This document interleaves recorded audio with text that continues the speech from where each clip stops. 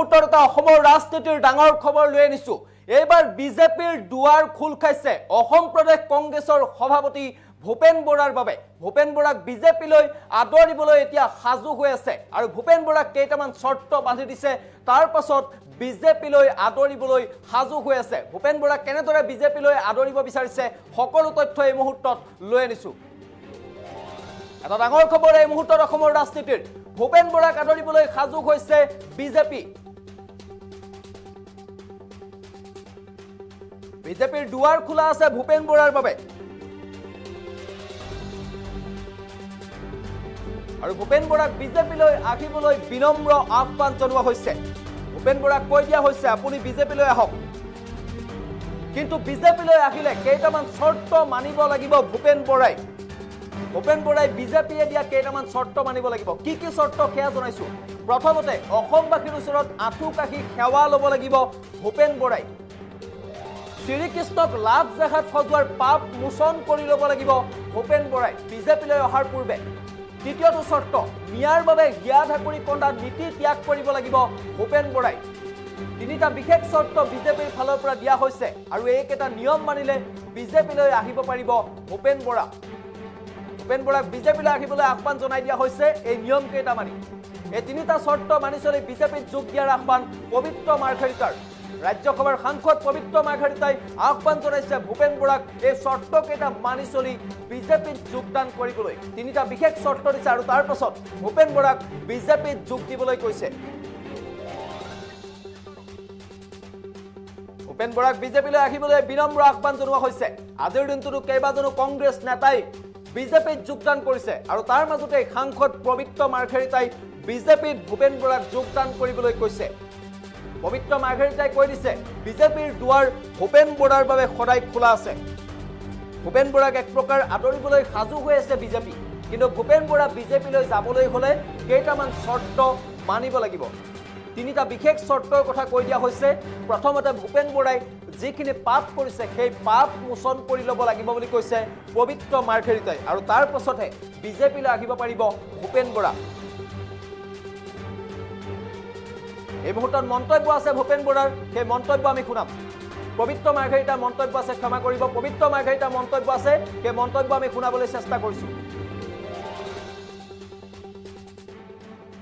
ভূপেন বৰা আৰু বহুদিনলৈকে সভাপতি হৈ থাকক কংগ্ৰেছৰ। মূল বিৰোধী দলটোৰ যদি এনেগৰাকী সভাপতি থাকে আমাক আৰু কি লাগে? কিন্তু মূল কথা হ'ল ভূপেন বৰাইও আমাৰ দলত যোগদান কৰিব পাৰে। খালি তেখেতে পুনৰবাৰ আঁঠুকাঢ়ি অসমবাসীৰ ওচৰত ক্ষমা খোজক বাৰম্বাৰ ক্ষমা খোজক যে সনাতন সংস্কৃতিৰ পৰম আৰাধ্য ঈশ্বৰ শ্ৰীকৃষ্ণক আমি তেওঁ যে লাভ জেহাদী বুলি ক'লে সেইবাবে পুনৰ ক্ষমা খোজক। তেওঁ যদি ভৱিষ্যতে এনেধৰণৰ সনাতন সংস্কৃতিৰ ওপৰত আক্ৰমণ নকৰোঁ বুলি প্ৰতিজ্ঞা কৰে তেওঁ যদি কেৱল গান্ধী আৰু ভাদ্ৰা ঈশ্বৰৰ সমতুল্য বুলি নাভাবোঁ বুলি কয় যদিহে তেওঁ মিয়াৰ বাবে বুকু খুলি তেওঁ মানে যি কৰুণ তেওঁ অভিনয় কৰিছিল সেই অভিনয় যদি ভৱিষ্যতে নকৰোঁ বুলি কয় তেওঁ যদি অকবি কবিতাৰ নামত কবিতা লিখি আমাৰ যি মানে হাঁহিয়াতৰ পাত্ৰ ভৱিষ্যতে নহয় এনেধৰণৰ কথা যদি কয় বিশেষকৈ শ্ৰীকৃষ্ণ প্ৰভুক জেহাদী বুলি কোৱা কথা যদি ক্ষমা খোজে আৰু ভাৰতীয় জনতা পাৰ্টীৰ দৰ্শন আদৰ্শ যদি তেওঁ আজীৱন মানি লৈ পূৰ্বশ্ৰুত নোহোৱাকৈ যদি আহে ভাৰতীয় জনতা পাৰ্টীয়ে এই মঞ্চত আমি ভূপেন বৰাকো আদৰণি জনাম। কিন্তু তেওঁ ইমান পাপ কৰিলে সেই পাপ প্ৰথমে কিন্তু খণ্ডন কৰি ল'ব লাগিব।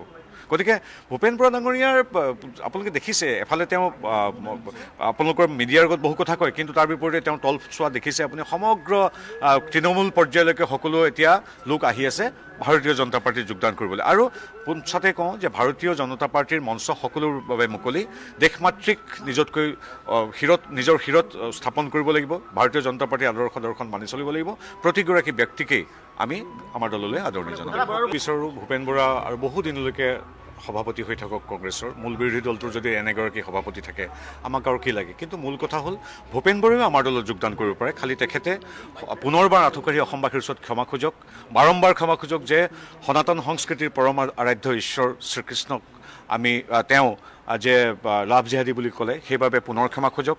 তেওঁ যদি ভৱিষ্যতে এনেধৰণৰ সনাতন সংস্কৃতিৰ ওপৰত আক্ৰমণ নকৰোঁ বুলি প্ৰতিজ্ঞা কৰে তেওঁ যদি কেৱল গান্ধী আৰু পৰিয়ালকে ঈশ্বৰৰ সমতুল্য বুলি নাভাবোঁ বুলি বুলি কয় যদিহে তেওঁ মিয়াৰ বাবে বুকু খুলি তেওঁ মানে যি কৰুণ তেওঁ অভিনয় কৰিছিল সেই অভিনয় যদি ভৱিষ্যতে নকৰোঁ বুলি কয় তেওঁ যদি অকবি কবিতাৰ নামত কবিতা লিখি আমাৰ যি মানে হাঁহিয়াতৰ পাত্ৰ ভৱিষ্যতে নহয় এনেধৰণৰ কথা যদি কয় বিশেষকৈ শ্ৰীকৃষ্ণ প্ৰভুক জেহাদী বুলি কোৱা কথা যদি ক্ষমা খোজে আৰু ভাৰতীয় জনতা পাৰ্টীৰ দৰ্শন আদৰ্শ যদি তেওঁ আজীৱন মানি লৈ পূৰ্বশ্ৰুত নোহোৱাকৈ যদি আহে ভাৰতীয় জনতা পাৰ্টীয়ে এই মঞ্চত আমি ভূপেন বৰাকো আদৰণি জনাম। কিন্তু তেওঁ ইমান পাপ কৰিলে সেই পাপ প্ৰথমে কিন্তু খণ্ডন কৰি ল'ব লাগিব।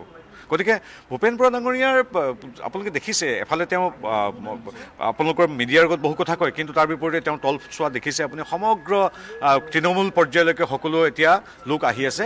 ভাৰতীয় জনতা পাৰ্টীত যোগদান কৰিবলৈ। আৰু পোনছাতে কওঁ যে ভাৰতীয় জনতা পাৰ্টীৰ মঞ্চ সকলোৰ বাবে মুকলি। দেশমাতৃক নিজতকৈ শিৰত নিজৰ শিৰত স্থাপন কৰিব লাগিব। ভাৰতীয় জনতা পাৰ্টীৰ আদৰ্শ দৰ্শন মানি চলিব লাগিব। প্ৰতিগৰাকী ব্যক্তিকেই আমি আমাৰ দললৈ আদৰণি জনাম এয়া আছিল পবিত্ৰ মাৰ্ঘেৰিটাৰ মন্তব্য। সাংসদ পবিত্ৰ মাৰ্ঘেৰিটাই কৈছে ভূপেন বৰাই কংগ্ৰেছত থাকি বহুত পাপ কৰি দিলে আৰু সেই পাপ প্ৰথমতে খণ্ডন কৰিব লাগিব মোচন কৰিব লাগিব আৰু তাৰপিছতহে বিজেপিলৈ আহিব পাৰিব। বিজেপিৰ দুৱাৰ সকলোৰে বাবে খোলা আছে। কেৱল কংগ্ৰেছৰ সৰু সৰু নেতাকৰ্মীয়ে নহয় কংগ্ৰেছৰ সভাপতি ভূপেন বৰাৰ বাবেও বিজেপিৰ দুৱাৰ খোলা আছে। যদি ভূপেন বৰাই বিচাৰে তেনেহ'লে বিজেপিলৈ আহিব পাৰে ভূপেন বৰা। এই চৰ্তকেইটা মানি চলিব লাগিব ভূপেন বৰাই আৰু তাৰ পাছত বিজেপিলৈ আহিব পাৰিব। বিজেপিয়েও আদৰণি জনাব।